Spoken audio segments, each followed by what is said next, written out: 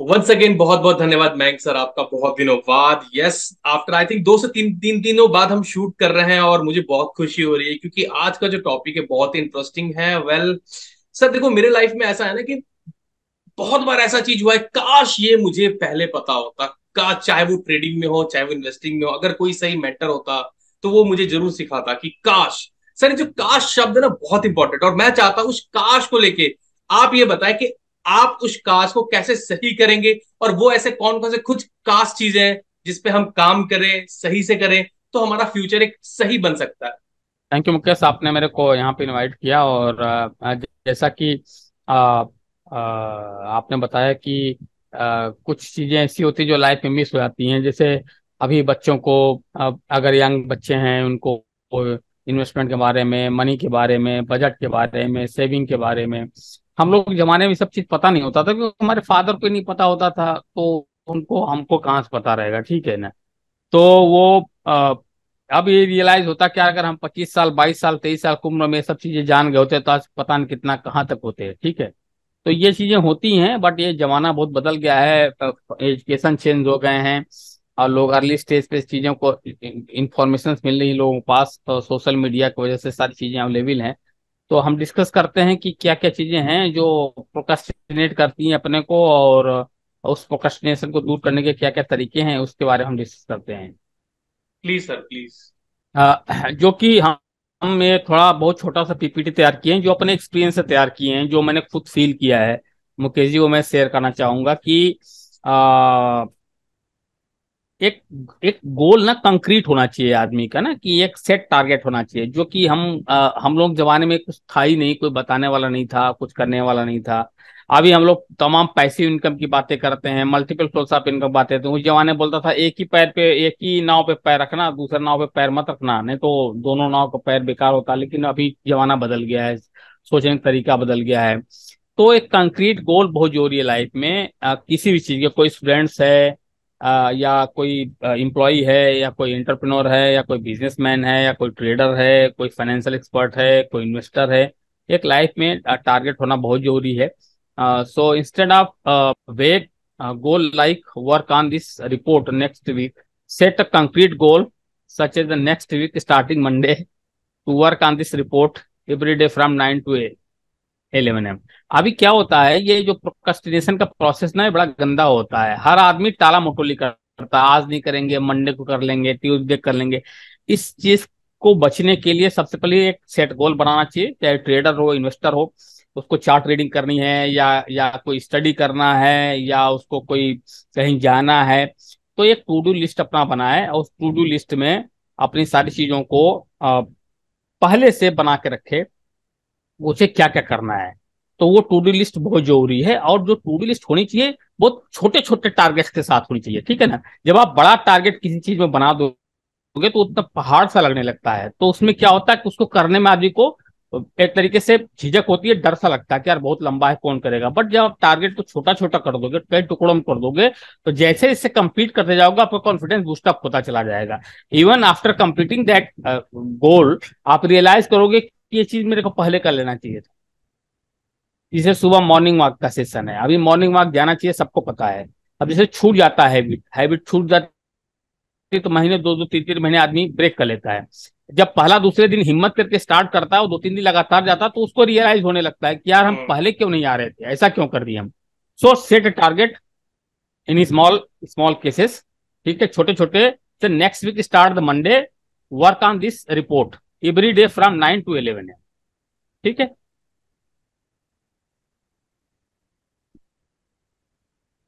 जैसा कि मैंने आपको बताया break your work into small and manageable steps ठीक है? अब बड़े जो टारगेट्स होते हैं, उसमें प्रोकस्टिनेशन क्यों होता है? प्रोकस्टिनेशन इसलिए होता है कि बेसिकली जब टारगेट आप बड़े कर देते हो, जो कि आपको बड़ा लगने लगता है तो फिर आप टाला मोटोली करने लगते हो। काज कल कर लेंगे, कल नहीं, परसों कर लेंगे, परसों नहीं नरसों कर लेंगे, ठीक है? जब उस टारगेट को आप छोटे छोटे कई टुकड़ों में बांट देते हो आप तो वो एक एक टुकड़े को आप धीरे धीरे करते जाते हो तो आपका पार्ट भी कंप्लीट होता चला जाता है तो प्रोकस्टिनेशन की जो हैबिट है धीरे धीरे डिलीट होती चली जाती है, ठीक है? तो इसी चीज़ को मैंने बताने की कोशिश किया है, ये सब ह्यूमन बीइंग के लिए किसी भी फ़ील्ड में हो फाइनेंस में हो अकाउंट्स में हो ट्रेडिंग में हो चार्टिस्ट हो इन्वेस्टर हो बिजनेसमैन हो स्टूडेंट हो, किसी के लिए भी है। If you write if if you need to write a paper you can break it down into the task such as choosing topics drafting and outline and finding relevant sources मतलब कि आपको जो भी टास्क है, उसका to do में list बनाइए उसको। लिस्ट बना के एक टॉपिक डिसाइड करिए, उसको ड्रॉप करिए, उसको आउटलाइन करिए step by step step by step उसको पूरा करने की कोशिश करिए। तो प्रोकस्टिनेशन का जो दिक्कत है, वो दूर हो जाएगी आपकी commit to start with just tiny first steps actual में जो सबसे छोटा काम है, सबसे पहले करिए, ठीक है? सबसे छोटा वाला काम सबसे पहले करिए, जिससे कि क्या फ़ायदा होता है? कुछ जल्दी कंप्लीट हो जाता है। जल्दी कंप्लीट हो जाता है तो आपका कॉन्फिडेंस लेवल बढ़ जाता है, आपका कन्विक्शन लेवल बढ़ जाता है। तो आगे के जो टास्क हैं, वो जल्दी जल्दी कंप्लीट होते चले जाते हैं। Decide to only work on your project for two minutes first two minutes at first ठीक है? तो आपका जो स्टेप है, वो पहले छोटे टास्क से शुरू होना चाहिए। यानी कि जो आपकी स्टेयर है, जो सीढ़ी की चढ़ाई चढ़नी है आपको तो धीरे धीरे चढ़नी चढ़ाई जैसे जैसे आप चढ़ते जाइए, उसी तरह तेज़ी आप बनाते चले जाइए। जैसे क्रिकेटर्स होते हैं, वो इनिंग को धीरे धीरे बिल्ड करते हैं, ठीक है? जैसे जैसे इनिंग बिल्ड होती चली जाती है तो उनका खेलने का तरीका अपना बदलते चला जाता है। तो आपको फ़र्स्ट इनिंग बिल्ड करनी है, उसके बाद चीज़ों को फास्ट करना है। तो प्रोकेस्टिनेशन की हैबिट धीरे धीरे आपकी डिलीट हो जाएगी। अच्छा अभी जो बच्चों के लिए है दो चीज़ें होती है बच्चों के लिए। बच्चों स्पेशली बच्चों के लिए है जो कि टीनेजर्स के लिए भी है, बच्चों के लिए भी है। बच्चों, क्या मतलब स्पेशली टीनेजर्स के लिए भी है कि लाइफ में ना लाइफ को विजुअलाइज करने की कोशिश करो कि ना क्या करना आपको लाइफ में, उसको विजुअलाइज करो। फेंटेसाइज ज़्यादातर लड़के क्या है फेंटेसाइज करते हैं। विजुअलाइज नहीं करते फेंटेसाइज करते हैं। तो फेंटेसाइज में और विजुअलाइज में बहुत डिफरेंस है। ठीक है? तो अपने लाइफ को विजुअलाइजेशन की तरफ़ लेके जाना है। ठीक है ना? आपको लाइफ में क्या बनना है, कैसे बनना है, कैसे नहीं बनना है, उसके बारे में सोचिए, उसके बारे में विजुअलाइज करिए, उसके बारे में प्रोजेक्शन करिए। This is the first step और विजुअलाइजेशन जब आप करेंगे तो प्रोकस्टिनेशन जो है, अपने आप धीरे धीरे दूर हो जाएगा। तो एनर्जी आएगी अंदर से करने के लिए, काम करने के लिए। एनर्जी जब आएगी तो आप काम पे जाओगे, फिर उसको आप टालोगे नहीं। नेक्स्ट सेशन के लिए नहीं रखोगे आप। तो विजुअलाइजेशन बहुत ज़रूरी है लाइफ में।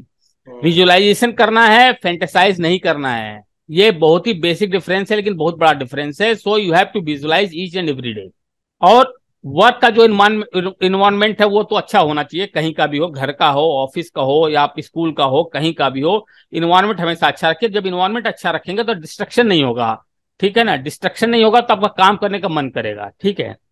और काम करने का जब मन करेगा तो आप बैठोगे फिर टाला मोटोली नहीं करोगे। प्रोकस्टिनेशन का वो सिस्टम नहीं रहेगा आपके दिमाग में धीरे धीरे प्रोकस्टिनेशन हट जाएगा। तो इन्वायरमेंट जो है वो घर का हो ऑफ़िस का हो आ, या किसी वर्क प्लेस का हो वर्क फ्रॉम होम कर रहे हो या फिर कहीं को वर्क में काम कर रहे हो तो environment should be good reward yourself for making progress अभी क्या है जैसे खिलाड़ी जब विकेट पा जाते हैं तो अपने आप को रिवार्ड करते हैं ठीक है? हैं हाई फाई करते हैं रिवार्ड करते हैं तो वो चीज़ें बहुत ज़रूरी लाइफ में अगर आप अपने आप को रिवार्ड नहीं करते हो, अपने आप को यू नो इनर्जाइज नहीं करते हो, अपने आप को पुरस्कृत नहीं करते हो तो फिर लो फील करने लगोगे कुछ दिन बाद। जब लो फील करने लगोगे तो फिर प्रोकस्टिनेशन आपके ऊपर हावी होना शुरू हो जाएगा। तो this is a common phenomena जब आप बहुत अच्छी अच्छी किताबें पढ़ोगे, बहुत अच्छे अच्छे ऑटोबायोग्राफी देखोगे लोगों की सुनोगे लोगों की वीडियोस पे तो आपको ये सब चीज़ें धीरे धीरे दूर हो जाएँगी।